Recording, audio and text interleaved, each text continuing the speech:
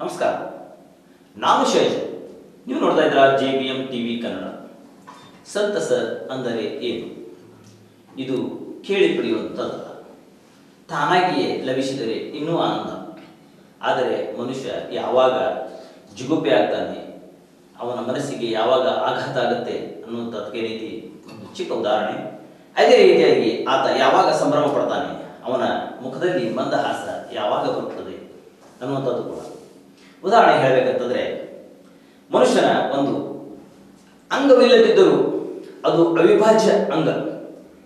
ಅದೇನು ಅಂತಂದರೆ ಮೊಬೈಲ್ ಪ್ರತಿಯೊಬ್ಬ ಮನುಷ್ಯನಿಗೆ ಇವತ್ತು ಮೊಬೈಲ್ ಇಲ್ಲ ಅಂತಂದರೆ, ಏನೋ ಕಳ್ಕೊಂಡಿದ್ದೀನಿ, ನಾನು ಜಗತ್ತಿನ ಕೂಡ ಬೇರ್ಪಟ್ಟಿನಿ ಅನ್ನುವಂಥ ಭಾಸ ಕೂಡ ಇಲ್ಲ ಅಂತ ಯಾಕಂತಂದರೆ, ಆ ರೀತಿಯಾಗಿ ನಾವು ಅದರ ಜೊತೆಗೆ ಬೆರೆತು ಬಿಟ್ಟಿದ್ದೇವೆ ಒಂದು ಕ್ಷಣಕ್ಕೂ ಕೂಡ ನಾವು ಅದರಿಂದ ದೂರ ಇರಲು ಬಯಸುವುದಿಲ್ಲ.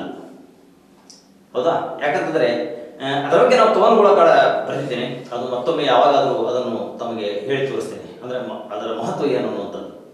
ಆದರೆ ಇಲ್ಲಿ ಒಬ್ಬ ವ್ಯಕ್ತಿ ತನ್ನ ಈ ವಾಣಿ ಕಳೆದುಕೊಂಡಿರ್ತಾನೆ.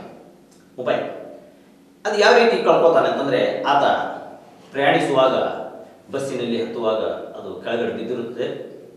ಆತ ಪ್ರಯಾಣ ಮಧ್ಯದಲ್ಲಿ ಮುಂದೆ ಬಸ್ ಬರ್ತಾ ಬರ್ತಾ ಇರುವಾಗ, ನಾವು ಮುಂದೆ ದ್ವಿಚಕ್ರ ವಾಹನದಲ್ಲಿ ಬರುವಾಗ ಆ ಬಸ್ಸಿನ ಚಾಲಕ ನಮಗೆ ಕೈ ಮಾಡ್ತಾರೆ ಸರ್ ಸರ್, ತರಬಿ ಅಂತಾರೆ ನಾನು ನನ್ನ ವಾಹನವನ್ನು ತರುತ್ತೇನೆ. ಆವಾಗ ಆ ವಾಹನದಿಂದ ಒಬ್ಬ ವ್ಯಕ್ತಿ ಕೆಳಗಿಳಿತಾನೆ ಇಳಿದ್ರು ಸರ್, ನನ್ನ ಮೊಬೈಲ್ ಕಳೆದೋಗಿದೆ ಅಲ್ಲಿ ಒಬ್ಬರಿಗೆ ನಾನು ಕಾಲ್ ಮಾಡಿದ್ದೆ. ಅವರು ಈ ರೀತಿ, ಇದೆ, ಬಂದು ಒಯ್ಯಿ ಅಂತಂತ ಇದ್ದಾರೆ. ದಯಮಾಡಿ ನನಗೆ ಅಲ್ಲಿಗೆ ತಲುಪಿಸಿ ಅಂತ ಕೇಳ್ತಾರೆ. ನಮಗೂ ಕೂಡ ಒಂದು ಸ್ವಲ್ಪ ಸಮಸ್ಯೆ. ಯಾಕಂತಂದರೆ ಒಬ್ಬ ವ್ಯಕ್ತಿಗೆ ಸಹಾಯ ಮಾಡೋದು ಆತಂತ ಕಳೆದು ಹೋದಂಥ ಮೊಬೈಲಲ್ಲಿ ಸಿಗುತ್ತಲ್ಲ ಅನ್ನುವಂಥ ಒಂದು ನಮಗೂ ಕೂಡ ಒಂದು ಆನಂದ. ಕೂಡಲೇ ಹತ್ತಿಸ್ಕೊಂಡು ನಾವೇನು ಮಾಡ್ತೀವಿ ಅಂತಂದರೆ ಅಲ್ಲಿ ಹೋಗ್ತೀವಿ. ಹಲಗತ್ತಿ ಗ್ರಾಮಕ್ಕೆ. ಆತ ಮುದೇನೂರು ಗ್ರಾಮವಾಗಿ ಮುಂದೆ ಎಲ್ಲೋ ಹೊರಟಿರ್ತಾನೆ. ಹಲಗತ್ತಿ ಗ್ರಾಮಕ್ಕೆ ಅವನಿಗೆ ಕರೆತರುತ್ತದೆ ಕರೆತಂದಾಗ ಆ ಅವನ ಜೊತೆ ಸಂಭಾಷಣೆ ನಡೆದೇ ಇರ್ತದೆ. ಇನ್ನೊಂದು ಒಂದು ಮೊಬೈಲ್ ಇದ್ರೆ ಆತನ ಜೊತೆಗೆ ಸಂಪರ್ಕ ಇರ್ತೈತಿ. ಅಲ್ಲಿ ಹೋದ ತಕ್ಷಣ ನಾನು ಅಲ್ಲಿದ್ದೀನಿ ಇಲ್ಲಿದ್ದೀನಿ ಅಂತೇಳಿ ಆ ವ್ಯಕ್ತಿ ಏನೈತಿ ತನ್ನ ಗುರುತನ್ನು ಹೇಳ್ತಾ ಇರ್ತಾರೆ. ಅವಾಗ ಏನೈತಿ ನಾವು ಹೋಗಿ ಅಲ್ಲಿ ನಮಗೆ ಆ, ವ್ಯಕ್ತಿಯ ನೇರವಾಗಿ ಹೋಗಿ ನಮಗೆ ಅದರಿಂದ ಸಂಪರ್ಕಿಸಲು ಅಸಾಧ್ಯವಾದಾಗ ಒಬ್ಬ ಹಿರಿಯರನ್ನು ನಾವು ಅಲ್ಲಿ ಸಂಪರ್ಕಿಸ್ತೇವೆ. ಆವಾಗ ಅವರು ಹೇಳ್ತಾರೆ ಆ ವ್ಯಕ್ತಿ ನಮಗೆ ಪರಿಚಯ ಬನ್ನಿ ಅವತ್ತ ಒಳ್ಳೆಯ ವ್ಯಕ್ತಿ ಅದರ ಕೊಡ್ತಾನೆ ಬನ್ನಿ ಅಂತೇಳಿ. ಅವರಿಗೂ ನಾವು ಕೂಡಿಸ್ಕೊಂಡು ಅವಾನದಲ್ಲಿ ಕೂಡಿಸ್ಕೊಂಡು ನಾವು ಅಲ್ಲಿ ಹೋಗ್ತೇವೆ. ಹೋದ ನಂತರ ಆ ವ್ಯಕ್ತಿ ಏನೈತಿ ತಗೊಳ್ಳಿ ನಿಮ್ಮ ಮೊಬೈಲ್ ಅಂತೇಳಿ ಆ ವ್ಯಕ್ತಿಗೆ ಕೊಡ್ತಾನೆ ಆವಾಗ ಎಷ್ಟು ಸಂತಸ ಸಂಭ್ರಮ. ಆ ಸಂಭ್ರಮವನ್ನು ಹೇಳುವುದಕ್ಕಿಂತ ನೋಡುವುದೇ ಬಹಳ ವಾಸಿ ವೀಕ್ಷಿಸಿ. ಚೊಪ್ಪ ಬಂತಿ. ಬಂತಿ. ಪ್ರಿಯ ವೀಕ್ಷಕರೇ ಇವರು ಬಂತಿ ಅಂತೇಳಿ. ಬಸಪ್ಪನ ಗುಡಿ ಅಂತ ಐತ್ರಿ ಬಸಪ್ಪನ ಗುಡಿ ಹತ್ರ ಇವರು ಹಲಗತ್ತಿ ಗ್ರಾಮದವರು.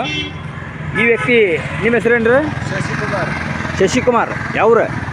ಒಂದು ಇಲ್ಕಲ್ ರೀ. ಇಲ್ಕಲ್ಲ.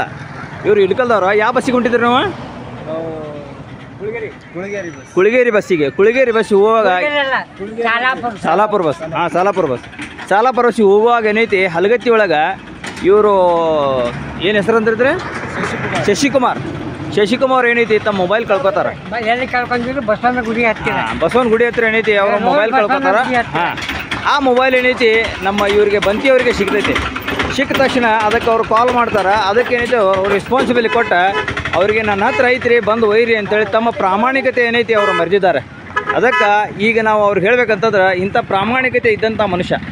ಈಗ ಇವರು ಉದಾಹರಣೆ ಅಂತ ಹೇಳ್ಬೋದು. ಯಾಕಂತಂದ್ರೆ ಈಗಿನ ಕಾಲದಾಗ ಮೊಬೈಲ್ ಸಿಕ್ಕೈತಪ್ಪ ಅಂತಂದ್ರೆ ಏನೈತಿ ಸ್ವಿಚ್ ಆಫ್ ಮಾಡಿ ಇಟ್ಕೋತಾರೆ. ಅಂತದ್ರಾಗ ಅವ್ರು ಪ್ರಾಮಾಣಿಕವಾಗಿ ಕೊಟ್ಟಾರಂತಂದ್ರೆ ಅವರಿಗೆ ತುಂಬ ತುಂಬ ಧನ್ಯವಾದ ಹೇಳಬೇಕು. ಮತ್ತು ಹಲಗತ್ತಿ ಜನರ ಒಂದು ವರ್ಚಸ್ಸನ್ನು ಹೆಚ್ಚಿಸಿದಾರೆ ಅವರು. ಯಾಕಂದ್ರೆ ಹಲಗತ್ತಿ ಮಂದಿ ಇಂಥ ಅದೈತಿಪ್ಪ ಅಂಥೇಳಿ ಅವರು ತೋರಿಸ್ಕೊಟ್ಟಾರೆ ಇವತ್ತು.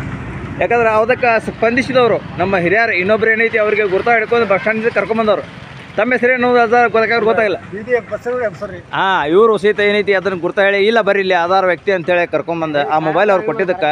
ತುಂಬ ಧನ್ಯವಾದಗಳು.